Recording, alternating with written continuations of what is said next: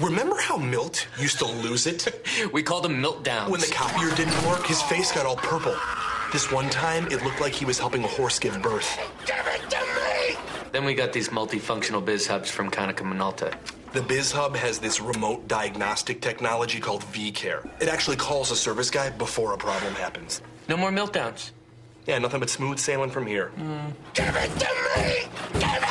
Find out who you can count on at countonKonicaMinolta.com.